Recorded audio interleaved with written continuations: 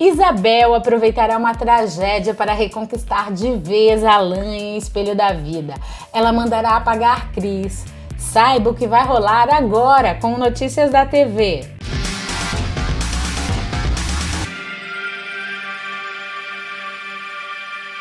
O diretor sofrerá um grave acidente e será internado com traumatismo craniano.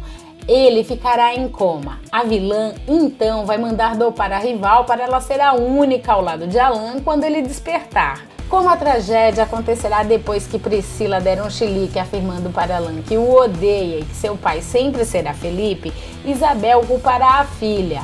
A jornalista obrigará a menina a ser carinhosa com o pai biológico no hospital. Avisada de que os médicos vão retirar a sedação para Alan sair do coma, a malvada pedirá para Sheila dar um boa noite Cinderela para a Cris. O plano dará certo e a atriz ficará apagada, sem imaginar que foi vítima de um golpe. Priscila prometerá fazer de tudo para Alan ficar feliz e comoverá o cineasta, que deixará até uma lágrima cair.